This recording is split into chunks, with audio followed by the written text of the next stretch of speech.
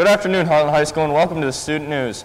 I'm Keegan, And I'm Delaney. and here's what's in the news. Reminder that there is no school Monday because of Martin Luther King Jr. Day. Attention all NHS members, you must complete the member form to stay eligible for the National Honor Society. Anyone need a binder or folder for classes? Please see Miss Quinn in room 332. January 29th is the last day to guarantee a yearbook, as well as the last chance to order a personalized book. If you haven't ordered a yearbook yet, make sure to go to the school's website to purchase or email the yearbook team at yearbook at hartlandschools.us. You don't want to miss out. This is a memorable year. Students, a huge reminder that when you wear your mask, you must cover your nose and mouth. Thank you. Also, no hats are allowed to be worn during school hours. Winter sports can resume on January 16th. If you are planning on playing a winter sport that has not started yet, make sure you check the tryout schedule and have a physical on Planet HS to participate.